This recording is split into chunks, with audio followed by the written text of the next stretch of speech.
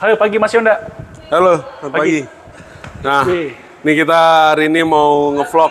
Teman-teman Auto Family di rumah. Teman-teman Auto Family di rumah lagi cari mobil komersil pickup Hilux. Pickup Hilux.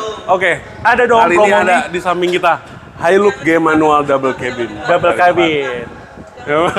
Gua udah parah. Ini jadi di belakang Alphard situ. Oh ya. Oke, kasih lihat dong ke teman-teman. Barang ready. Ready stock. Ada single cabin, Single cabin, double cabin, mau warna hitam, putih, silver kita ada semua. intip dong. Kita bedah fitur-fiturnya. kita bedah fitur-fiturnya. Pak, jadi saya mau jalan ini, Pak. Ayo, Wow, double cabin bagus banget ya. keren. 4x4, mobil 4x4. 4x4 tipe G manual double cabin. Tersedia warna varian warna ada apa aja nih? Dia ada hitam, ada grey, Grey. putih, Putih, silver juga ada. silver juga ada. Betul. Warna-warnanya ready stock semua. Warna-warna ready stock Paling semua. banyak stok warna apa aja? Paling banyak tuh hitam, putih, silver. Hitam putih silver. Ya. Tapi ini beruntung banget nih ada warna grey nih. Nah ini jarang nih. Jadi untuk teman-teman yang lagi cari warna grey, Mumpung lagi ada. mumpung lagi ada stoknya. DP-nya juga kita lagi bisa murah banget nih, DP 20%. Betul. Itu range harganya sekitar DP 80 jutaan. Kita sudah bisa dapat satu unit Hilux G manual double cabin. Oke. Gitu. Untuk harga on the road eh, apa aja nggak bisa? Nah, Jakarta. untuk Jakarta, Bogor, Depok, Tangerang, Bekasi, Terus Jawa Barat bisa, bisa, Jawa dong. Barat juga bisa, Seluruh Jawa Timur bisa. bisa Kalimantan juga bisa, Seluruh wilayah Kalimantan bisa. bisa Bali, Bali bisa, dan Pasar bisa. bisa Surabaya, bisa juga. Untuk wilayah Sumatera khususnya di selatan, Sumatera Selatan, Selatan, Palembang, Medan, Lampung, terus Bangka juga Belitung. Padang, Bangka Padang, Belitung bisa. bisa. juga kita. langsung tanya-tanya ke Mas Yonda nomor nomor teleponnya dong Mas Yonda. Ya, untuk nomor telepon saya sendiri ada di 0816 17 16 2000. Mantap. Bisa langsung hubungi saya dengan Yonda Pratama Putra. Sip. Nah sekarang mau lihat dong tampak lampu headlamp Mas Yon. Coba Oke. nyalain. Headlampnya kita lihat ya. Ya.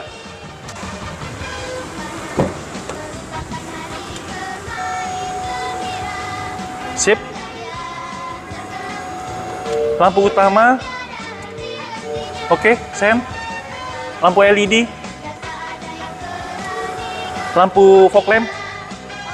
Lampu utama halogen ya. Halogen. Lampu kecil pun juga halogen. Lampu Betul. sen juga halogen ya.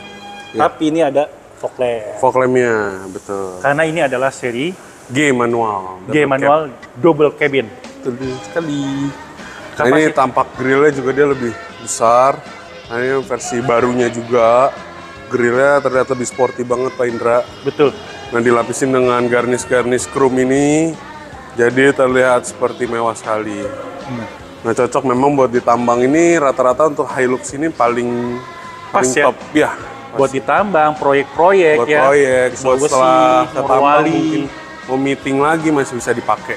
Karena ini menggunakan 4 4 kali 4 4 kali 4-nya. betul sekali. Nah, oke. Untuk nah, teman-teman pengen tahu nih eh, dimensi dari Hilux ini. Ya.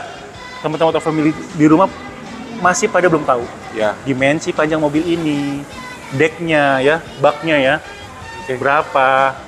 Oke, untuk panjang berapa Mas Yona? Nah ini kita review untuk panjangnya ya. Untuk panjangnya dia 5,3 dan dia lebarnya di 1.855. Untuk overall tingginya dia 1.815 Oke. dan juga jarak poros rodanya wheelbase-nya itu dia 3.85 dan untuk jarak pijak depan atau front rate-nya dia di 1,5.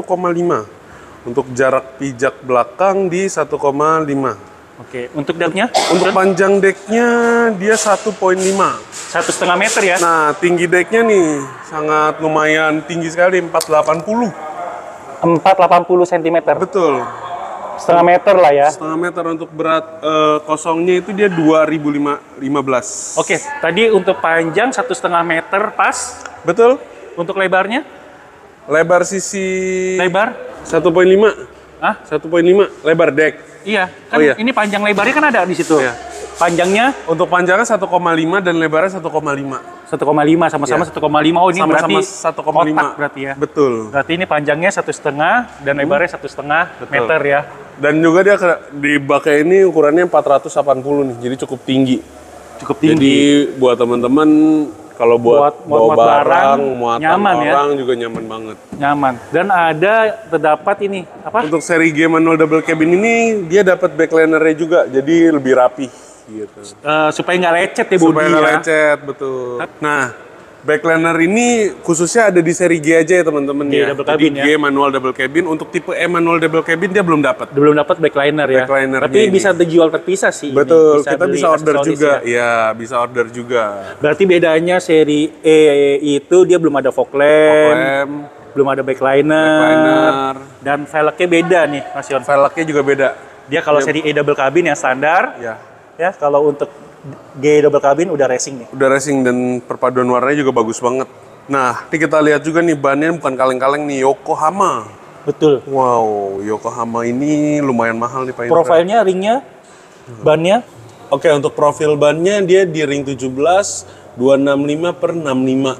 Nah, jadi besar, cocok banget nih buat di medan-medan tambang gitu. Jajang off-road, Off-road juga Medan-medan bisa. Sulit ya. Medan-medan sulit, lumpur, lumpur. bisa lumpur, mau panas, becek, apa pun itu. Nah, ini mobil udah paling pas. Ayo. Ya. Nah, nih untuk tipe G manual, pertama kita bahas di setirnya dulu. Nah, di setirnya ini dia sudah ada tombol switch steer, Ya. yang di mana dia bisa melihat pengaturan MID-nya, multi information display, dan menaikkan eh, volume juga sudah ada. Modenya juga untuk mengganti head unit si audio ini bisa juga dari setir juga, jadi teman-teman nggak perlu repot. Oh iya satu lagi dia juga bisa angkat telepon, jadi sudah ada bluetoothnya juga. Bluetooth teleponnya. Ya, jadi ketika di jalan atau kondisi lagi ribet banget, angkat telepon bisa langsung dari setir. Nah, sekarang kita bahas ke head unitnya ini nih. Kalau seri G dapat ya. Kalau untuk seri G ini sudah dapat head unitnya. Dia touchscreen, kurang lebih layarnya 6 inci. Nah, untuk tombol AC-nya dia memang masih manual, Analog ya. analog ya. Tuh. Tujuannya kenapa? Karena mobil ini tidak dipakai untuk gaya, melainkan untuk kerja. Benar. Jadi lebih ke fungsinya. Jadi kita lebih memperhatikan ke bagian Oke. eksteriornya. Ini untuk pengaturan 4x4-nya ya. Nah, itu juga ada pengaturan 4x4-nya. Jadi untuk medan naik, turun, atau apa pun itu kita bisa digunakan di medan Kita bisa setting ya. Roda dua tuh pun Nah, di sini terdapat juga glove box untuk naruh kacamata, lampu, ya standar ini sudah bawaan dari dealer. Dapat sensor juga. joknya Nah, joknya ini eh, warnanya baru dia banget teman-teman. Iya, ini warnanya Mewah. hitam.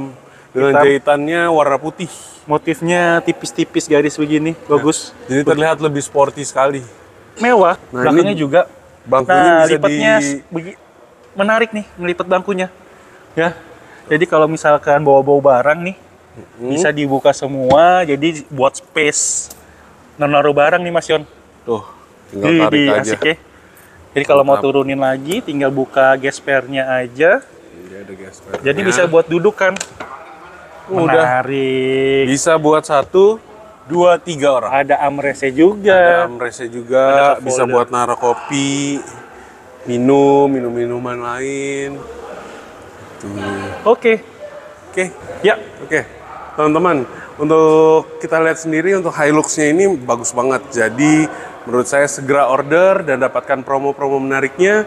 Yang ada kita juga lagi ada event Gias juga, jadi kita bisa masukkan promo untuk teman-teman semua. Untuk pemesanan bisa langsung ke saya, Yonda Pratama Putra di nomor 0816 17 16 2000. Dan Pak Indra, 0813 1000 3867.